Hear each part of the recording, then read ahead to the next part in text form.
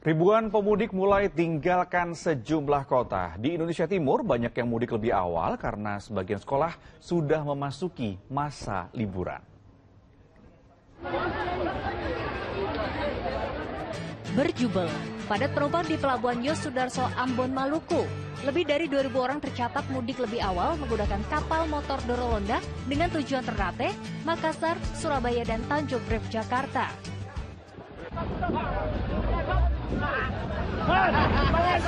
Bukan hanya penumpangnya, ratusan porter berebut naik ke kapal berburu rezeki mengangkut barang-barang para penumpang. Karena hampir tiga tahun terakhir, selama pandemi momen mudik tak seramai ini. Diperkirakan puncak arus mudik di Pelabuhan Ambon terjadi pada 15 April. Mengantisipasi lonjakan penumpang, PT Pelni menyiapkan 17 kapal melayani sejumlah rute di Indonesia. Begitu pula dengan jalur darat. Di stasiun Gubeng, Surabaya, Jawa Timur, gelombang mudik juga mulai terjadi sejak pekan ini.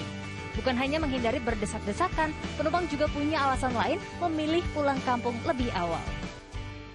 Alasan mudik lebih awal apa, Mas? Ini liburan sekolah. Sudah libur berarti pondoknya ya? Ya, Ini nanti liburan sampai setelah lebaran? ya. Selama arus mudik, PT KAI Daerah Surabaya menyediakan hampir 600 ribu tiket. Lebih dari setengahnya sudah habis terjual untuk keberangkatan 14 April sampai 3 Mei. Juhri Samaneri dan Ari Purwanto melaporkan dari Ambon Maluku dan Surabaya, Jawa Timur.